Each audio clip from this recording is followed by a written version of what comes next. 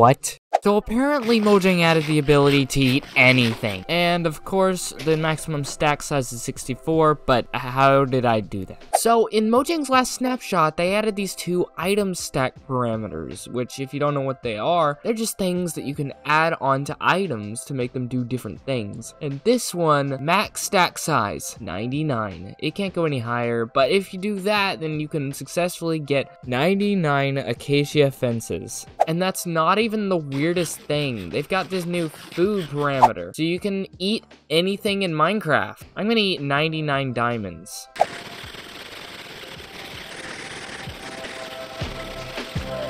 Well, that was a waste of three minutes. But of course, if you wanted to change that up, you can add the eat seconds and then just change how long it takes to eat the diamonds. So you can do it just so much faster. That took about a minute. Makes you wonder, what if we set this number to zero? Oh, it won't let you. Uh, something near zero?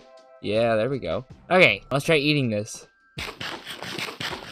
Bro, it's not letting me eat the diamond. I can just eat it forever. It's not even doing anything. What's also cool about these parameters is that you can make things more stackable than they were previously. And I've shown that before, but for example, you could use an egg, and its usual stack size is 16, but now with this command, we got 99 eggs in one slot. So now, I can finally eat the book that looks like an ice cream sandwich.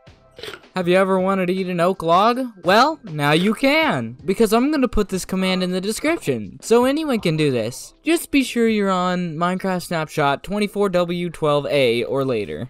Thank you for watching, I'll see you in my next video. Goodbye.